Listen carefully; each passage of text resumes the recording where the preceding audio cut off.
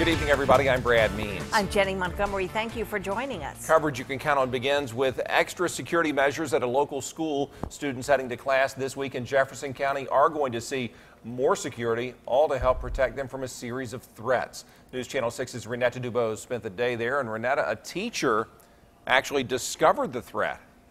Yeah, Jefferson County High School teacher. She took a group of students to the bathroom this week, and that's when this all started. Now, there's an investigation into who made the threat, and it looks like the sheriff's office and the school district have keyed in on who the suspect might be.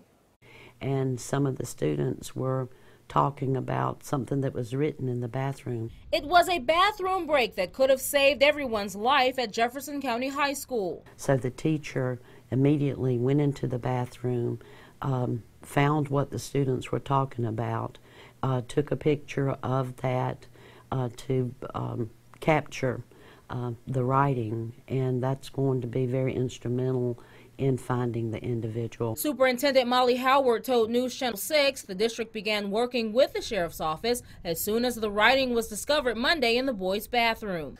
One of them said school shooter, and the other one said, I'm shooting up the school on 2217. Sheriff Gary Hutchins says the threat came again on Wednesday in two different locations on a wall in the bathroom stall. At that time, my officers started working with, closely with the uh, school officials, doing interviews and uh, looking at videos.